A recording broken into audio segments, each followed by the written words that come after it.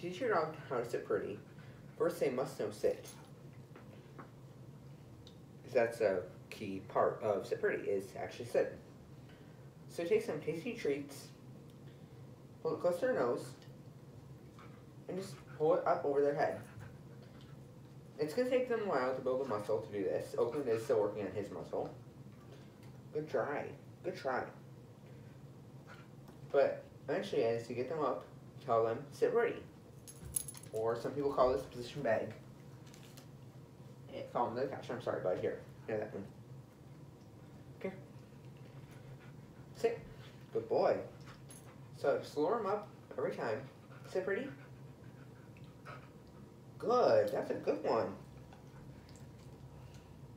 And don't get frustrated if it, they don't get it at first, because like everyone, even humans, they need to build muscle to do it. It's pretty. It's pretty. It's pretty.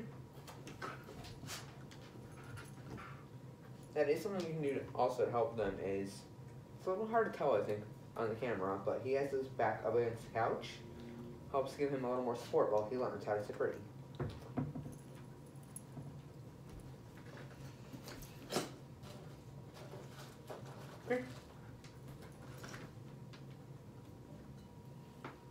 You can also offer your body as support. Sit. Sit. Oh. Sit pretty. Sit pretty. Sit pretty. A wall generally is better though for the support.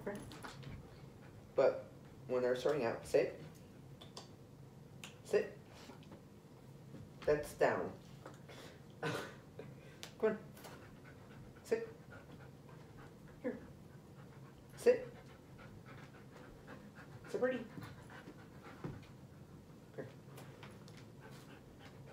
It'll take a while, especially with the husky, because they are quite stubborn. Sit.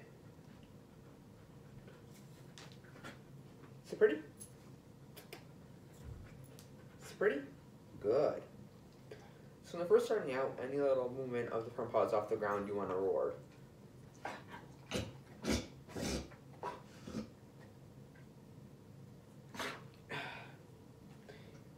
He tends to swallow his treats whole. He's okay. He's not sick. He just swallows them whole and, and coughs them back up. I'm so sorry for that. Is it pretty? Good. When they're first starting out, hmm, is it pretty? You can put like your hand out to help them kind of balance themselves. I mean, even when like a baby is learning how to walk, they need that support at first. They don't have the muscle built up. They need your help. Sit. Good boy. Sit pretty. Sit pretty. Come on, sit pretty.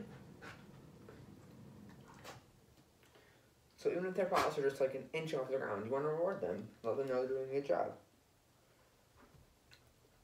Sit. Sit.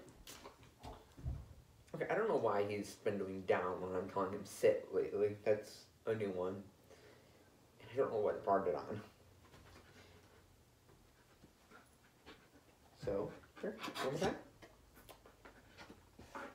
Sit. Sit. You want more time? Sit pretty. That's spin. Sit. You gotta be on camera. Come on. Sit. Sit pretty.